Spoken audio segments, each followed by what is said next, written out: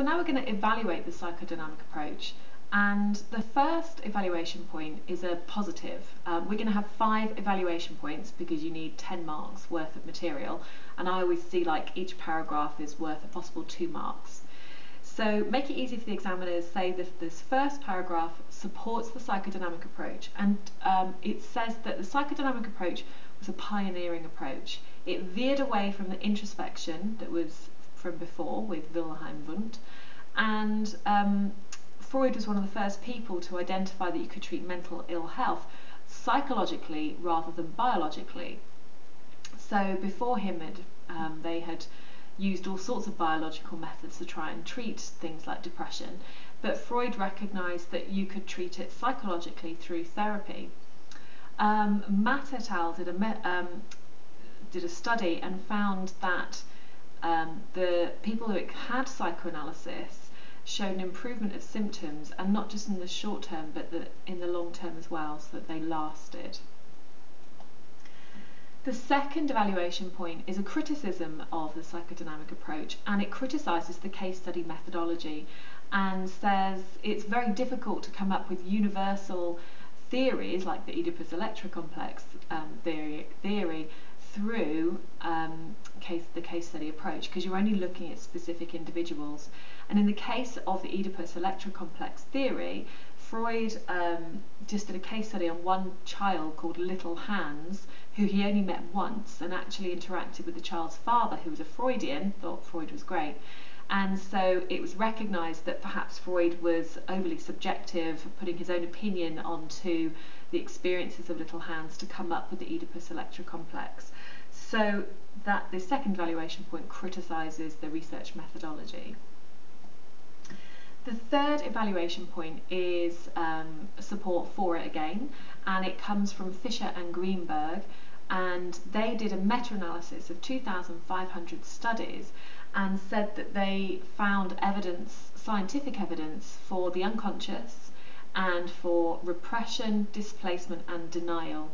Um, so Freud was often, the, the psychodynamic approach is often criticised for not being scientific, but actually Fisher and Greenberg found that scientific evidence to support those parts of the theory. The fourth um, evaluation point is a big criticism, and it specifically comes from Elizabeth Loftus, who you know from your um, year one studies to do with memory, Loftus is a genius when it comes to memory, and she's done a lot of scientific work to discover that you can actually implant false memories in people. Um, and she said, so she was specifically looking at this whole idea of repression and repressed memories.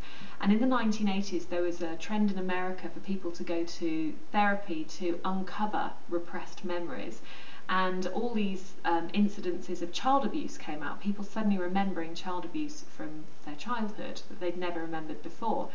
But Elizabeth Loftus claimed um, from her research that it wasn't um, repressed memories, it was actually implanted false memories from the therapist, possibly accidentally. Um, and so, if you're going to disprove um, repression, which is a huge part of the, whole psychodynamic approach, the idea of making the unconscious conscious is what Freud was all about. And if Elizabeth Loftus found scientific evidence to disprove that, then it does question the whole of the theory. Um, the American Psychological Association, the APA, they uh, agreed with Loftus and said that if people had been abused in childhood, then they would probably remember some aspect of it, even if they didn't really understand what that memory was. It might take therapy to uncover or make connections, but they said if you had um, experienced that kind of trauma, then you would probably remember something.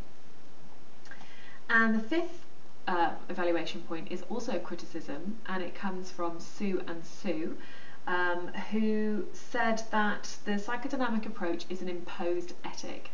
So you'll know that means that uh, it means it's culturally biased. You're imposing the psychodynamic approach, which was created in Western society, onto other non-Western societies, and it doesn't really work.